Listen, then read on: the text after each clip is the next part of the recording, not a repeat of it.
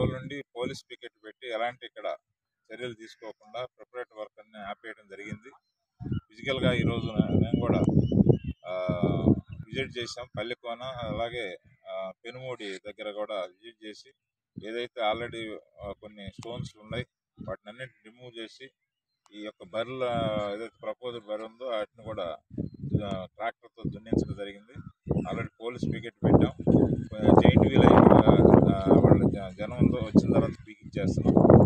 ఎలాంటి అనుమతులు లేవు. ప్రభుత్వం నుంచి కానీ పోలీస్ డిపార్ట్మెంట్ ఈ కోడి పందాలకి ఎలాంటి అనుమతులు లేవు. ఈ కోవిడ్ థర్డ్ వేవ్ ఎక్కువ అవుతుంది కాబట్టి సందర్భంగా ప్రజలు కూడా అర్థం చేసుకొని ఈ యొక్క కోవిడ్ నిబంధనలకు వ్యతిరేకంగా ఎవరు ఈ యొక్క ఇల్లీగల్ థింగ్స్కి పాటు చేయొద్దని చెప్పేసి పోలీసు వారు హెచ్చరిస్తున్నారు. ఎవరైనా అందరూ కూడా గమనించి ఇలాంటి కోడి పందాలు అనేవి నిషేధం. కాబట్టి ఎవరు కూడా ఇక్కడ ఏరియాలో కోడి పందాలు అనేది వేయకుండా ఎవరి సంక్రాంతి సంబరాలు అనేవి ఎవరి కాళ్ళు సింగిల్గా ఇళ్ళ దగ్గర చేసుకోవాలని చెప్పి మనం ప్రధానంగా పిలిచి మాట్లాడుకోవటం ఉద్దేశం ఏంటంటే మనం నష్టపోతాం ఏదైనా జూదం.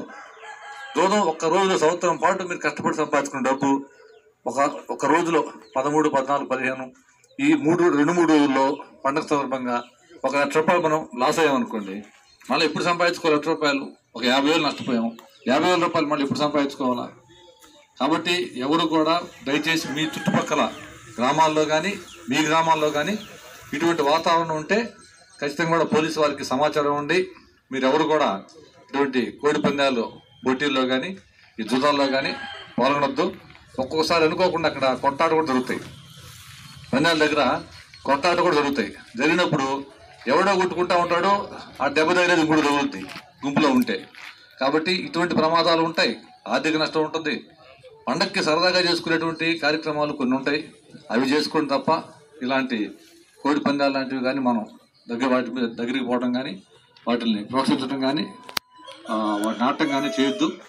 మీకు ఇక్కడ ముఖ్యంగా మేము కోరేది అంటే మీకు తెలిసి కానీ ఎవరన్నా కానీ కూడా ఎక్కడన్నా ఈ కార్యక్రమాలు అంటే ఒక కోడి పందాలు వేయాలంటే కనీసం ఒక ఒక బరి